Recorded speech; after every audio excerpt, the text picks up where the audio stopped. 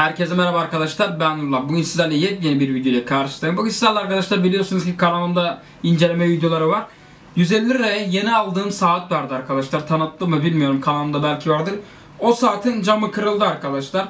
Nem Green diye şöyle bir saat arkadaşlar gördüğünüz gibi 150 lira para vermiştim. Saatin camı arkadaşlar ben arabayla İzmir'de seyahat ederken şöyle vurdum.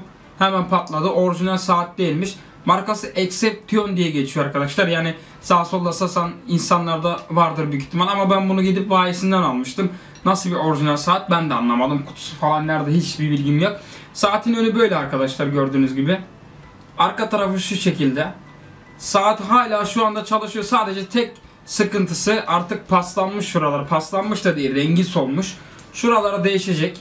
Bunlar değiştiği zaman arkadaşlar şu gördüğünüz yerler ve saatin camı da yapıldığı zaman bu saat takılır ve yapılır arkadaşlar. Yani gayet güzel de kullanılabilir devam edebilirsiniz yani ama yani şuna 150 lira verip de tek buruşta kırılması iyi bir şey değil arkadaşlar. Siz de eğer ki maddi açıdan gayet güzel bir e, paranız varsa gidin orijinal saat alın. Yani size gidip de Rolex, Molex alın demiyorum. Ama 5-6 bin liraya aldığınız saati de geri satabiliyorsanız alın.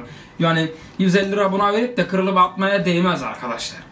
Yani gidin 3000 liraya saat alın ama geri onu 1,5 bin lira satabilin. Yani ettiğiniz aldığınız paradan kar etmeyin de zarar etseniz bile satmaya çalışın arkadaşlar. Öyle saatler almanızı tavsiye ederim. Benim size verdiğim e, bu kanaldaki bu videolardaki tüyolar benden bu kadar arkadaşlar.